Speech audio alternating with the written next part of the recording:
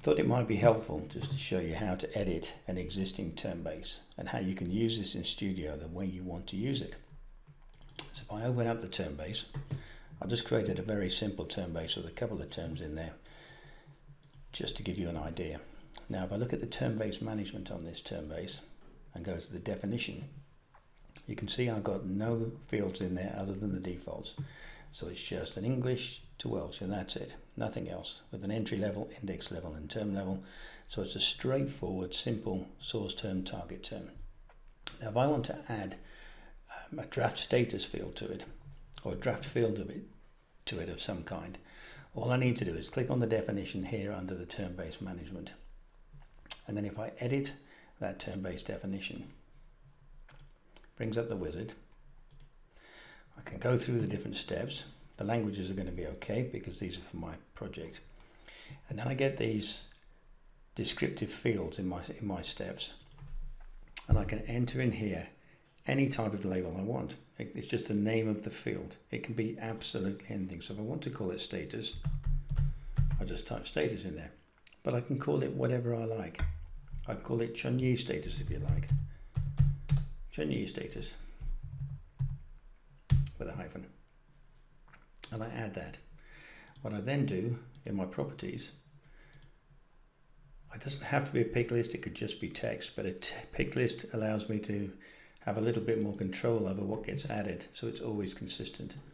So maybe I'll just add a couple of pick list fields in there. So I'll have draft and then maybe I'll have approved and maybe I'd even have a, a rejected maybe. I can have as many as I like and whatever I like. That's my fields added. What I do then is on the next part of the window, this is my basic structure of the term base at the moment which is just the defaults. And now I can add this field, descriptive field, to any of those levels I want. Because I want to do it on the term, I select status, the term, and I just click add. And this adds it over at the term level. And then I click on next and finish. If it's a big term base, it might be worth running a reorganizer at this point but if it's just a small one like this, there's no point in running a reorganize, so leave it as it is. And what we see now is I have this extra field on the bottom, the Chunyi status. It's a pick list, and there's my different pick list values. So when I go to add a new term the next time, when you add a term, you don't see them at first, but if I click on the little drop down, you can see I get this Chunyi status. Now because you have to do this extra bit of work, and because you'd have to select it every time, you might want to create what's called an input model to make it easy to be able to do this. So if everything you, you every time you add a term to begin with, if you want it to be set as draft, for example, then you could create an input model to do that. So do that, go back to your term base management, go to the input models and say create. Brings up another little wizard to make it nice and easy for you and we'll call this the Chunyi input model. I've just used your name here to emphasize the fact that these can be called anything you like. MultiTerm is infinitely flexible. It's not forcing you to do anything in a particular way. And what you do now is, in here, you specify which, which fields you actually want to come up when you add them. So I'm going to, in the entry level, I'm going to say, okay, always add the Welsh. I just double click it and always add the English. But maybe I only want to add the, uh, the draft status onto one of them. So I might just say, for example, I want to add it on the English. I'll say new status and add it just on the English. If I want that status on the Welsh as well, I could add in on the Welsh, but there's not much point in doing that because um, in the translation I'm going from Welsh to English, so the Welsh term is clearly going to be correct it's the debatable one is going to be the English one. So I'll just put this term status on the English for my input model. So I click on, oh sorry, then I want to set a default value. So I click on change status, go to the default value, and I'll make it draft.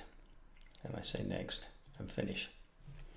If I go back to my terms now and up to the input model, you'll see I've now got this Chunyi input model. And if I select that and then click on add new, You see now how it's already set up as draft? This is really handy because you can use this in Studio. So I close this now, because I've got my term base and I'm pretty happy with that, and if I open up Studio,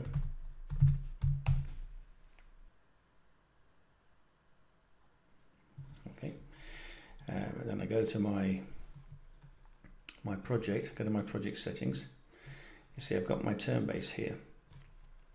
Term base is already set, so I don't need to worry about that. Click on OK. I open this up.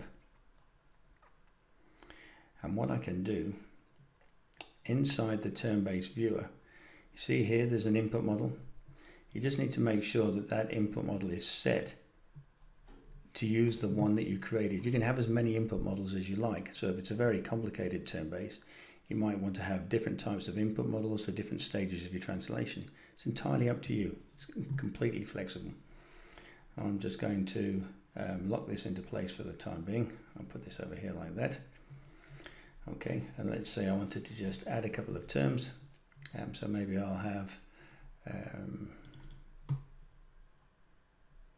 users. Click add new term, and you can see I've added the term straight away and it's added it with the draft status, exactly the one I wanted, because that's what I set up on my input model. So it's very, little in fact, it's no work at all. It's a piece of cake to go through and add my terms now, just by adding them, selecting them as I'm working along. So if I wanted to add um, project, say, and I can quick add new term, there's another one. So I'm adding the terms with the fields automatically as I'm working. It's really, really simple and straightforward. So that makes it a piece of cake. Hopefully that makes it clear and you'll see how you can adapt your client term base to add a new field if you want one and then how you can use it in Studio by taking advantage of the input models. These are little things that people don't often realize that MultiTerm is capable, capable of doing. There's a lot of capabilities in MultiTerm that can really make your life a lot easier when you're working. If you just knew, if you just know about a few little things. I hope that's helpful anyway.